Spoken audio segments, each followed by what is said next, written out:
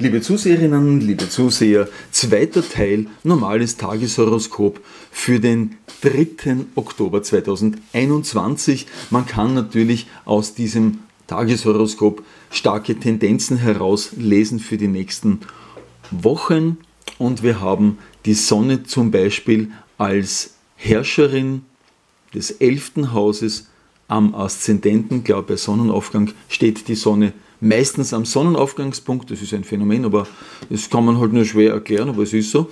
Also das würde bedeuten, dass hier jetzt im Fokus des Interesses die Gruppenbildung steht. Ich interpretiere das jetzt einmal nur auf uns bezogen. Ich lasse mal hier die Behörden außen vor. Also Herrscher von elf Spitze, erstes Haus und dieses Thema ist auch sehr angeregt, sehr angeheizt. Also hier tut sich jetzt sehr, sehr viel. Warum? Weil der Mars als Herrscher des siebten Hauses sozusagen die Sonne aktiviert, stimuliert, anheizt. Also hier tut sich was. Hier wird, hier wird jetzt, ähm, hier wird man jetzt aktiv habe ich es jetzt doch erraten.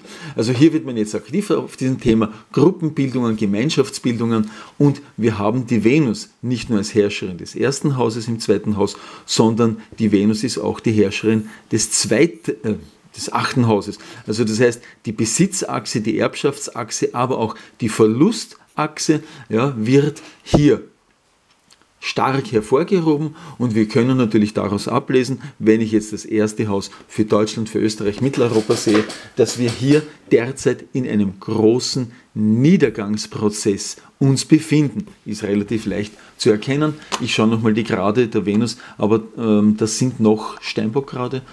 Nach 25, 18 sind bereits Wassermann-Grade, also falsch geraten, aber trotzdem irgendwie so knapp vorbei ist. Auch daneben, das heißt, wir haben hier die Venus auf Wassermanngraden und das bedeutet natürlich große Nervosität, ähm, Hektik und natürlich auch und natürlich auch eine schwere Verspannung in sich selbst, weil die Venus im Skorpion steht und Wassermann steht bekanntlich im Quadrat zur Venus. Und wir sehen auch den zweiten Herrscher des zweiten Hauses, Pluto, im vierten Haus stehen, auch rückläufig. Und das bedeutet dann natürlich, dass hier, ich meine, das ist jetzt nur eine Energie, ja, auf Samstag bezogen kann man jetzt sagen, ja, die Leute gehen jetzt in die Wälder mit den Rucksäcken und mit den Taschen und sammeln halt das Holz zusammen. Also das wäre zum Beispiel eine Möglichkeit. Oder man geht Pilze sammeln, Schwammerlbrocken, wie man bei uns sagt. Also das heißt, man geht in die Natur hinaus, weil der Pluto, würde ich sagen, ist jetzt nicht so unbedingt in seiner Rückläufigkeit schon gar nicht das erfolgsversprechende Konzept, aber wir können auch hier eine Stimmung ablesen, dass es der Bevölkerungsspitze viertes Haus im Steinbock, ja, dass es den Leuten nicht gut geht, ja, das kann ich daraus sehr schön ablesen. Und die Stimmung ist auch sehr angespannt, Herrscher von vier in vier, Saturn, auch hier sehr ernst, sehr große Ernsthaftigkeit. Äh, das Land des Lächelns, die Dauerparty sozusagen ist vorbei und die Leute wissen, dass es ernst ist, weil Spitze viertes Haus im Steinbock heißt auch etwas. Schauen wir uns mal die Grade an, die Grade 13 Grad 20, das klingt so wie Jungfrau gerade, würde ich mal sagen. Wenn ich, ja, von 12,5 bis 15 Grad äh, haben wir Jungfrau gerade, also das heißt, hier ist auch viel Arbeitswilligkeit, viel Fleiß, viel Einsatz. Die Leute wissen, worauf es ankommt. Also viele wissen es, worauf es ankommt.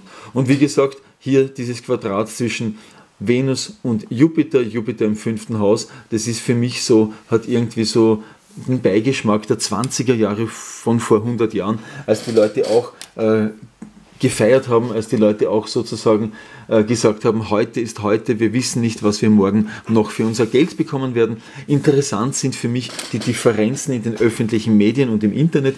Im Internet wird von einer dramatischen Erhöhung der Gaspreise gesprochen. Die reden davon bis zu 100 Prozent. Und in den Nachrichten, was ich gestern zufällig, ich habe das Autoradio dummerweise kurz eingeschaltet und da wurde uns tatsächlich erzählt, also die Gaspreise werden so um die 5 Prozent steigen. Also, wie gesagt, es war ein Fehler, das Autoradio eingeschaltet zu haben. Ich habe es dann leider zu spät ausgeschaltet. Kann vorkommen. Ist es so, macht aber nichts. Wir haben, wir haben noch folgendes: Wir haben hier Neptun im sechsten Haus als Herrscher von 6 in 6 ist natürlich, ja, ist natürlich sechste Hausbesetzung ganz, ganz schlecht, passt überhaupt nicht. Und wir sehen auch, dass hier dieses, äh, dieses Frostschutzthema, dass das eigentlich abgesehen davon, dass es ein Wahnsinn ist, ja, aber abgesehen davon ist es hier in einem Auflösungsprozess, in einem Vernebelungsprozess. Und naja, das haben wir die letzten Tage gesehen. Es wird gelogen, was das Zeug hält.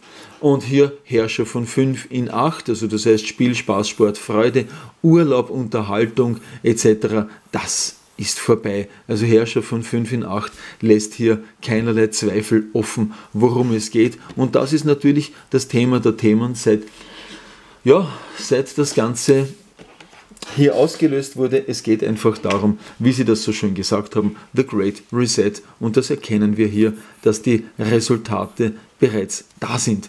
Und weiter zum dritten Teil. Ende.